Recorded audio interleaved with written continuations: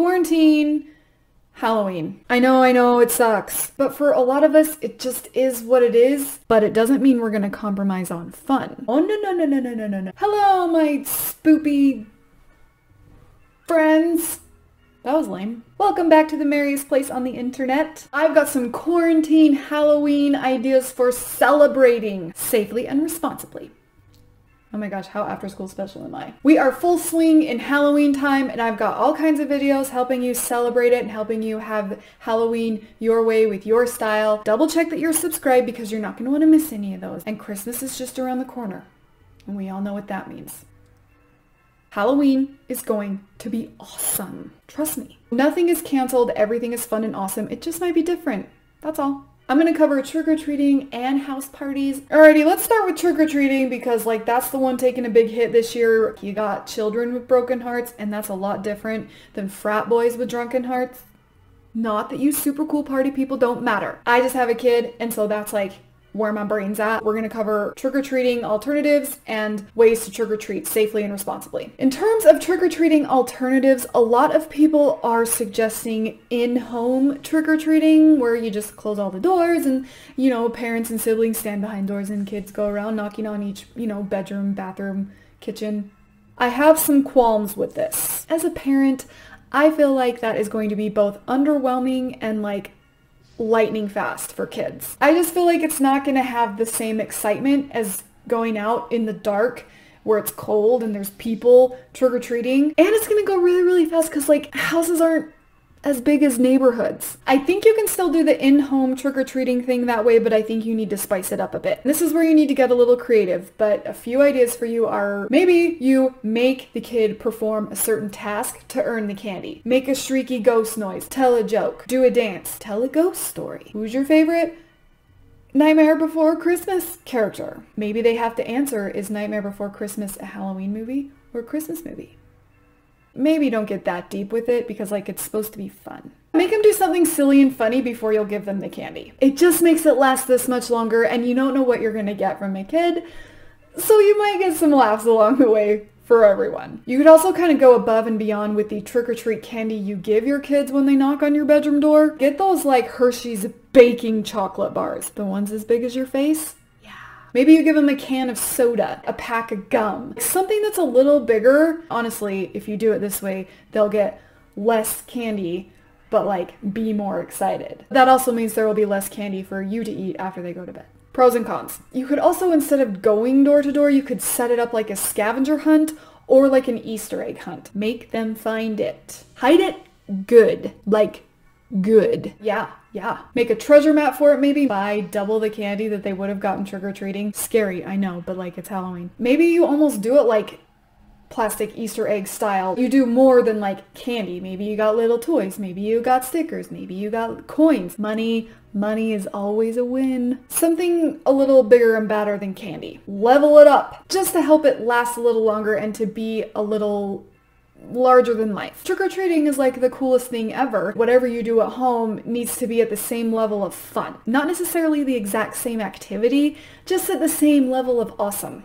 A few other ideas for trick-or-treating alternatives I have for you are a pinata. Involves candy. Involves violence. Halloween. You could turn your house into a haunted house, have the kids turn the house into a haunted house and make the parents walk through it. We used to do that at sleepovers with my cousins and like May the gods bless my aunt and uncle for walking through those because dang. But we had a really, really great time. It was super fun for us, so just an idea. Take the candy you get, however you decide to distribute it, and make a haunted gingerbread house. Buy a gingerbread house kit and then use the trick-or-treat candy to decorate it. Then you can eat it while you watch your favorite family Halloween movie. Favorite family Halloween flick. Fluff, fluff, fluff, fluff. You could also throw a Halloween party as if you were inviting a bunch of people, but just keep it to your little family that lives in your house. Seriously, go like all out. Music, decor, lights, fun food, all the goodness that would be at a Halloween party where you're inviting a hundred people, but it's just your little family, so it's like extra special because you did it just for them, not for people outside of your household. That's what makes it special. You did it for them. We can just like knock on doors and twirl in our costumes and yell happy Halloween and run away. Have a pumpkin carving competition. Yeah, I say pumpkins, not pumpkins. Deal with it. Just keep in mind this year, however your Halloween is gonna go, traditionally, conventionally, totally different, whatever, keep in mind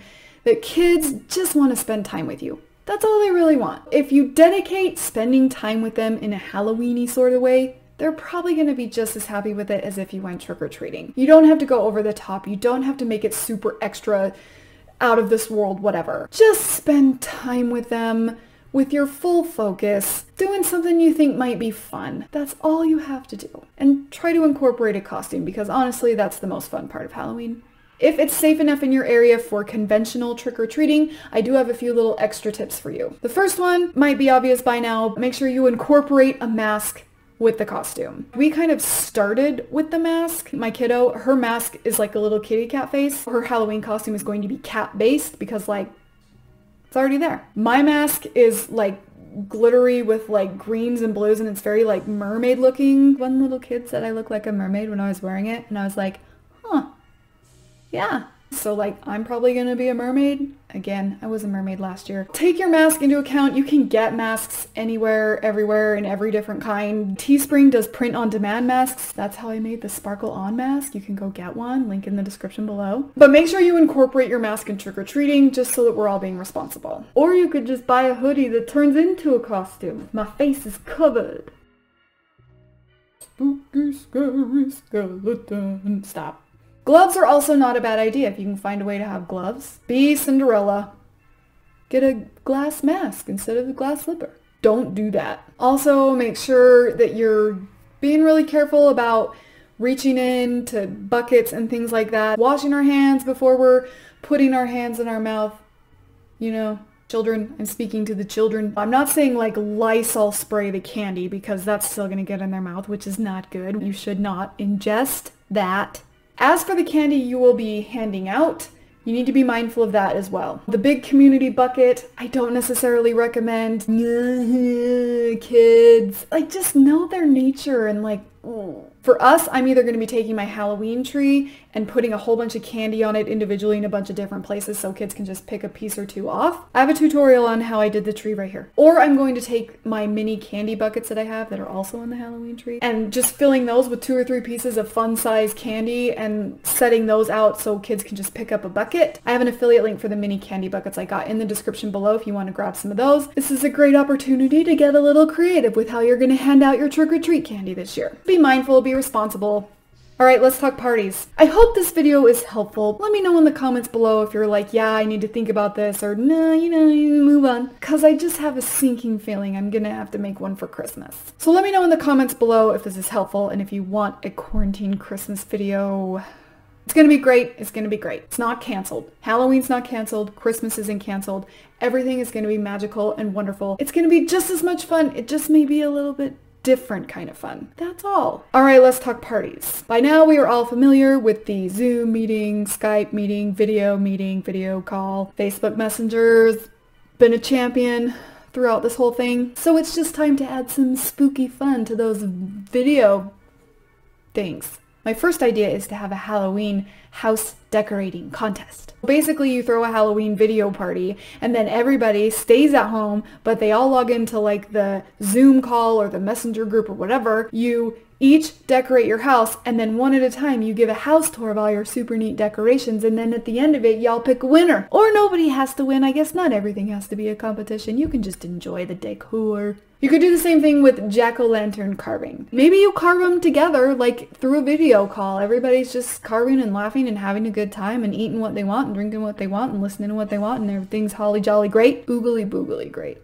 Sorry and then you show them all off at the end. Maybe you have a winner. Do the Halloween party things you would do at a Halloween party just via video. It's not going to be that different. You know, it is going to be different, but it's going to be the kind of different that makes it like kind of funny. You could also all start a movie together, like all of you just hit play on Netflix at the same time and like watch a movie and laugh about it.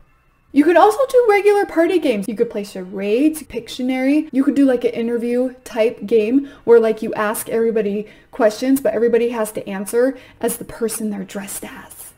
Yeah.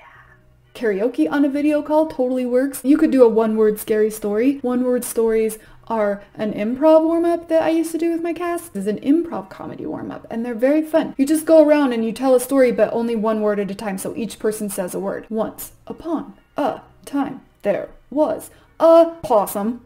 Totally works on a video call. Video call dance parties are a thing. I know it's not the same thing as getting together in person with all your friends, but you can still do it. That's not an excuse to not get together with people you love. You just have to do it through a screen. And you know what? They're still there. You're still with them. I know it's different, but it's not bad. Connect with people digitally. That's what the holidays are about anyway, connecting with people. We're just gonna connect via internet. And don't take it too seriously. Like, yeah, it's kind of ridiculous to have everybody dancing by themselves together. Embrace that. Embrace the weird, funny little position that we're all in right now and just roll with it. It's ridiculous. But that's kind of what makes it awesome. If you can't be ridiculous on Halloween, when can you? Embrace this craziness and laugh at it. Have a fun video party. Experiment, get creative, and have a happy Halloween. Again, I hope this was helpful. I really went back and forth on making this video because like nobody really wants to talk about it anymore, but at the same time we kind of have to talk about it because it's like all in our face all the time. I just thought, well, I might want to watch that video. I'm fun and sparkly and so I thought here are some ways that we don't have to compromise on the fun because we don't. Quarantine doesn't mean no fun. It just means different fun. So I hope this video was helpful. I almost didn't make it. I just didn't want to make you sad. But I did and we're here and I hope it helped. If you want to see how I decorated this super cute, super fun Halloween tree, you can click or tap right up here. And if you need a little help with your Halloween decor, I've got a video right here with some Halloween themes and ideas. I hope your Halloween is fun and full of silly new memories. And until we meet again, sparkle on. This skeleton hoodie is super too big for me. But it's Halloween, so I'm wearing it anyway.